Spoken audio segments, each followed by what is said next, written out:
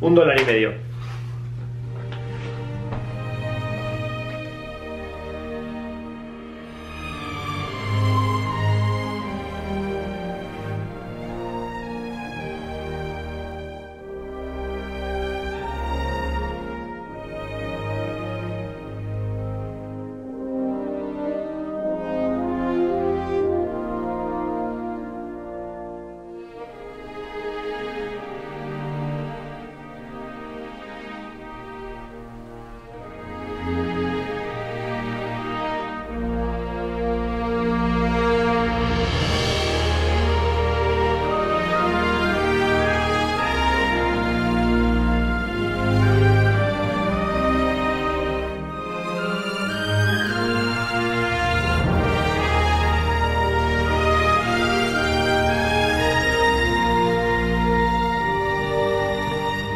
Bueno, voy a acampar. He decidido que voy a acampar, aunque la previsión son 2 grados esta noche. De todas maneras, me viene muy bien probar para saber hasta qué punto puedo acampar o no, porque esto se está poniendo feo. O sea, no me puedo estar pagando moteles todos los días.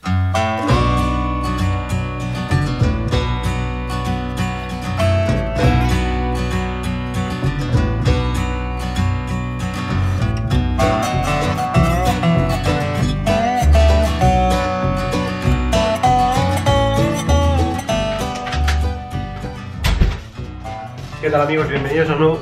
Oscuro, ¿no? Mejor ahí. Bienvenidos a un nuevo capítulo.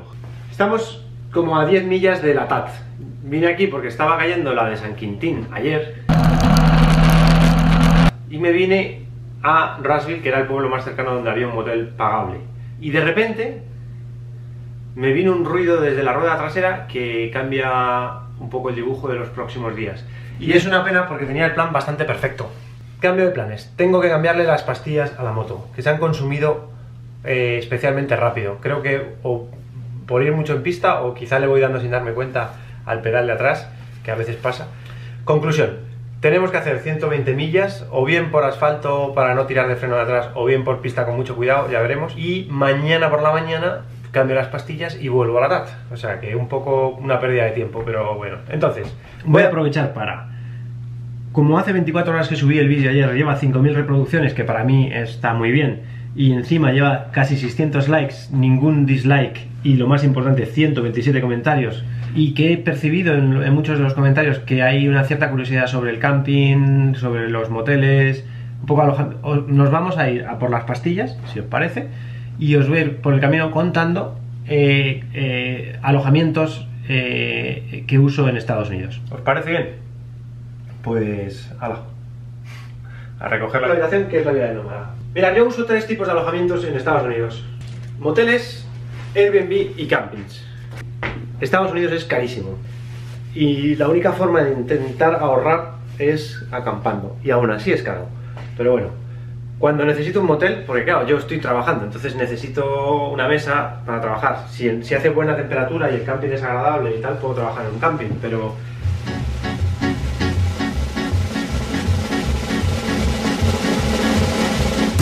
arrastrar la dura cadena, trabajar sin tregua y sin fin. Pero ayer diluviaba, antes de ayer, y entonces me, tuve que proteger aquí para poder trabajar. Entonces, los moteles, los más, el, más, el más barato que es este, cuestan pues entre 40 y 50 dólares. Los más baratos, de ahí para arriba. Cuando son muy cutres, uso el saco.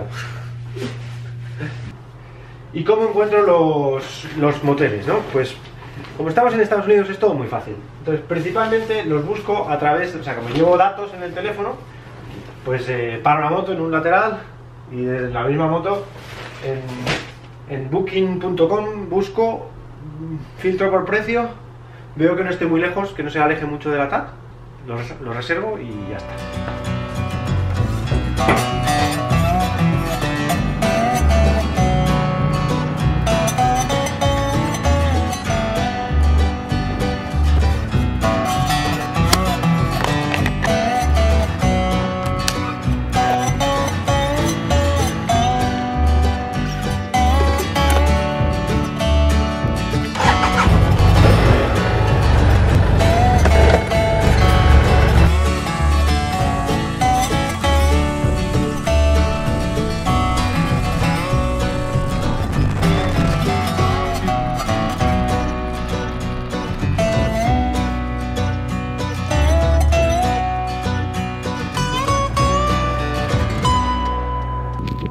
Bueno, cualquier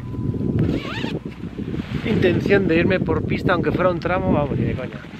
O sea, tengo. No, no le quedan nada a las pastillas. Que no, que me voy, me voy por asfalto.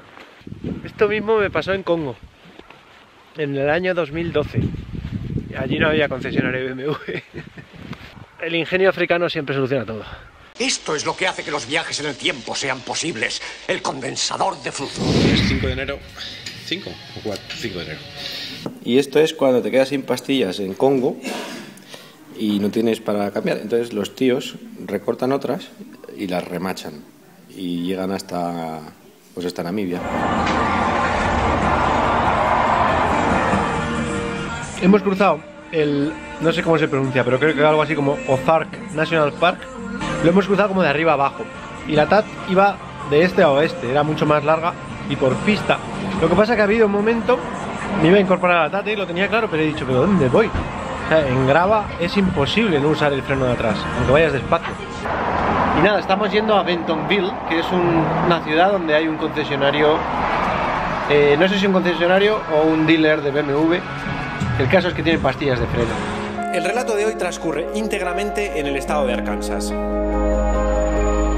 Si bien la TAT, la Transamerican Trail, atraviesa el Ozark National Forest de este a oeste, nosotros, al no tener pastillas y estar cargándonos el disco, nos ha obligado a cruzarlo de sur a norte e ir por asfalto hasta Bentonville, donde nos espera el repuesto. Esperemos.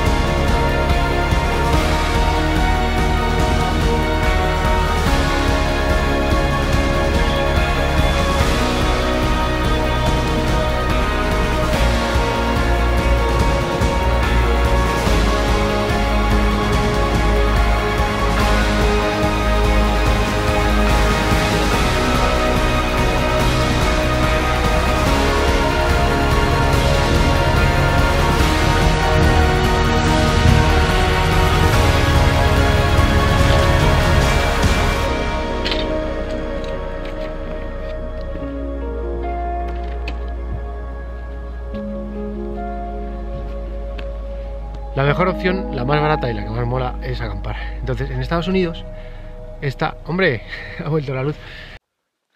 La mejor opción siempre es acampar.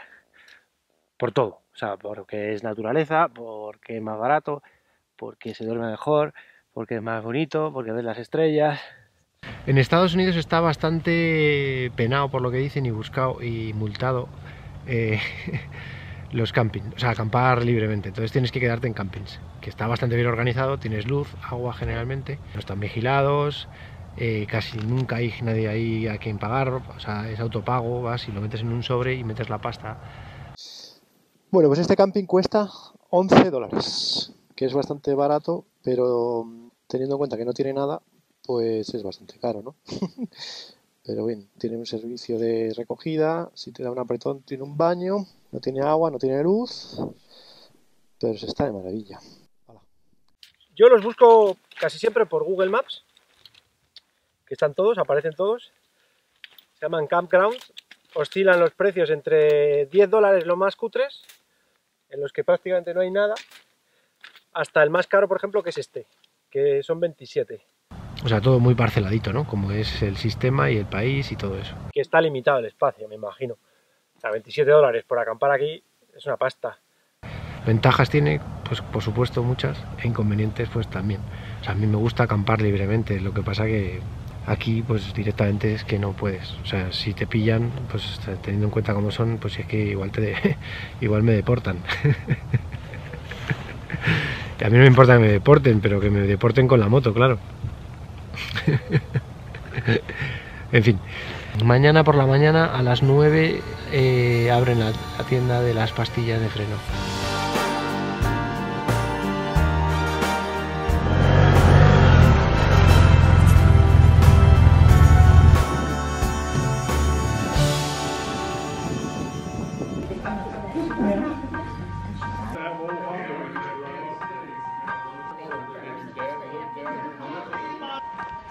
Qué suerte la mía, ¿no?